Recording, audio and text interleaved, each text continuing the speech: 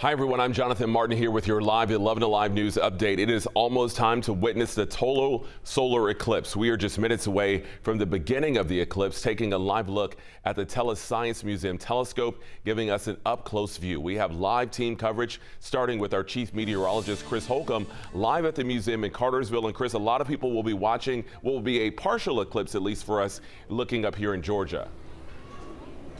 Yeah, we are not in that path of totality here, but we at least are going to have a partial eclipse here. That feed that you just saw from the Tellus Museum, we keep getting a few clouds every once in a while that come by and it blocks out that view of the sun occasionally. But that feed is coming from right here in the observatory where I am right now. And folks are coming up the steps and they're actually looking into the viewfinder there and through the lens of that telescope where they can actually see what's happening right now with the sun. Now, the eclipse has not started yet. It will be starting starting in just a little while here. In fact, let me show you what we're watching here with the timeline of the eclipse that's going to be taking place uh, during the afternoon hours. It'll begin at 1:45. It will be at maximum eclipse at 3:04, and then it'll end at 4:21 this afternoon. And when it does get to maximum eclipse, it is going to be covering about 80 to 85 percent of the sun. So we don't expect it to get dark here or anything. That really, if you're just really having your normal day and didn't know the eclipse was happening, you may not even know it's happening. But if you do know it's happening,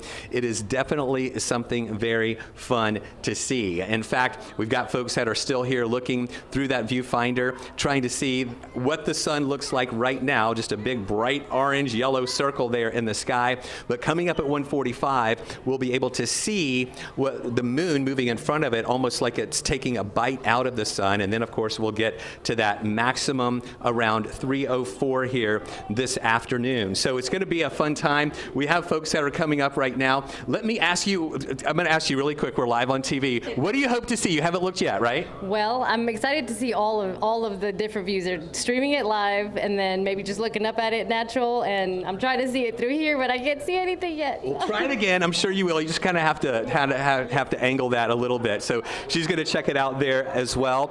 Um, we also did, I think we showed that live feed as well. At times, the clouds are blocking it, so sometimes it's hard to see. And, and that's what we're seeing outside of the roof here, too.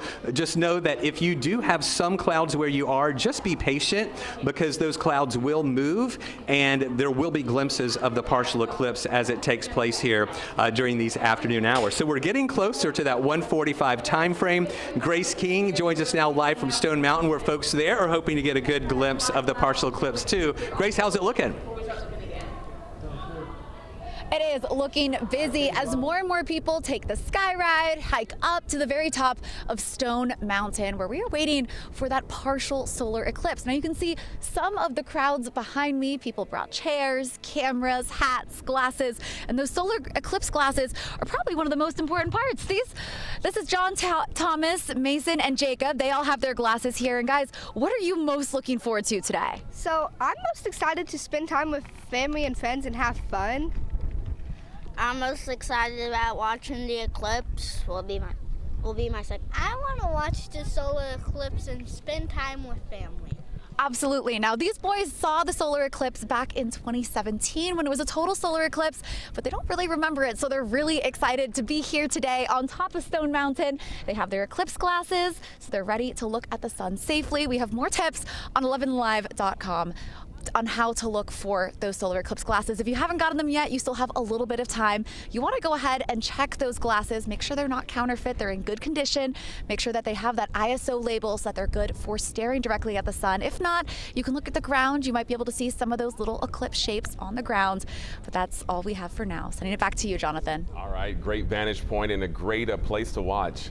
Uh, Grace, thanks so much. And you can join us for local coverage this afternoon. We're checking back with those viewing parties at Stone Mountain, where Grace was, and Tellus Science Museum in Cartersville. Live coverage continues today, starting on 11 Alive News at 4. And we, of course, are going to have another update for you coming up in just about 20 minutes. We're going to be checking back again with our Chris Holcomb and Grace King. And we'll also have national coverage along with our local coverage. So if you're not in the path of totality, you'll have coverage here. Uh, but we'll also, have, of course, have the national coverage from places places like Texas as well.